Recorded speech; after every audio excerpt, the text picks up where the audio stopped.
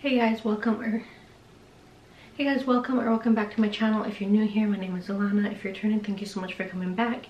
In today's video, I'm going to be doing a what's in my shower caddy. I have just filmed a video on what's in my diaper caddy, so if you want to go and see that video, it will be up before this one. Um, so you can go and see, watch that and then come back to this video if you'd like. Otherwise, um, let's get into this video. Um, but here is the shower caddy that I decided to make. I really love the diaper caddy, so I went ahead and got another one just so that I could purposely make a little shower caddy for him. I'm a little bit extra, I just like to be fully prepared and since this is my first baby, obviously he's gonna be a little bit more spoiled and I'm just super excited. We're super excited and we just want to give him the world. So um, I just think it also makes it a lot easier on mom and dad when things are neatly organized and whatnot. So this is his his shower caddy. So whenever it's bath time, um, we have all of his essentials right here. We don't need to go hustle and bustle looking around the house where things might be. Um, he does have his own bathroom in his nursery, but it's still nice to just have everything in a little diaper caddy so I've made this like his little bath caddy shower caddy whatever you want to call it. Um, I haven't actually seen one of these be done before but my mind kind of just brought it to me and I was like you know what? I'm gonna make one of those. So that's exactly what I did. So if you're not familiar there's a lot of pockets along this diaper caddy um, in the front the sides and the back. I really only use the front and then the middle pockets um, the dividers they're just so spacious so you really do fit a lot. You don't need all of these pockets on the side.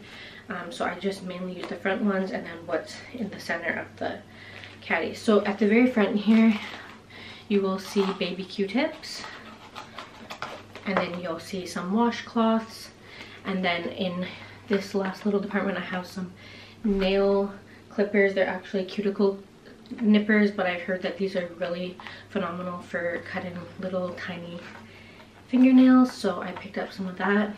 Um, and then this right here is diaper rash cream so that we have that on hand for when he gets out of the bath. And then in this first department right here at the front I have his this is the the Cetaphil Baby Shea Butter Daily Lotion. So if you need some lotion after the bath, we have that in here. And this is his shampoo and wash, which is from Cetaphil Baby as well. And then I have some diapers lined up in here. And then in the back department here, I just have a little pail to scoop up water and pour it on him. Also have some baby wipes. And then I just have this little ducky that says if the temperature is okay or not. If it's too hot, then it will warn us. And then I also have a, a little hooded towel and washcloth. Haven't opened it yet. I'm gonna actually take this out and wash it in the next couple days here.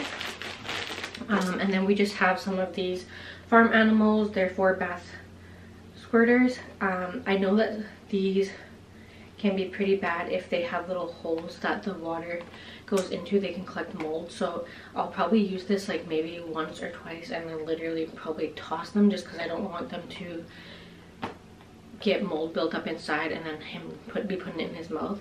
So i do know that that's more on the cautious side. I do have it just for him to use like one or two times within the same like week. But i know over time that these toys can be pretty bad for um, holding moisture and it just collects a lot of mold. So if you're a first time mom, just be aware of that. I'm a first time mom, but I've done a lot of research on toys and whatnot just to make sure that I'm doing things correctly. But yeah, that is basically all that we have in his um, bath caddy, shower caddy. I just wanted everything to be really easy access and then I can always I love having the diapers on hand in here as well. You just never know when you might need one. Um, but right now, this is everything that I'll be keeping in his in his um, bath caddy if there's anything that I think that I missed or if there's any suggestions that you guys have that I might be missing that I need for my newborn um, or as he grows in the later months please leave a comment down below as a first time mom I'm open to suggestions and always looking for um, suggestions on things that I should try or things that I might be missing and needing in his diaper or in his um,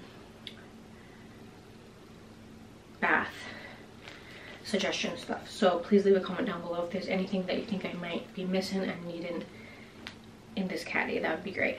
Um, but yeah, that's everything in his shower bath caddy. Um, I hope that you enjoyed this video. If you did, don't forget to like, comment, and share. And leave a comment down below and let me know what you think of this idea. I don't know if it's... I don't know if it's a thing. I've never seen it be done, but I also didn't really search it up. I just thought of it. Um, I always see diaper I always see diaper caddy videos but I've never seen anything for a bath caddy videos so here you have it ladies um, yeah again thank you so much for watching. I'll see you in my next video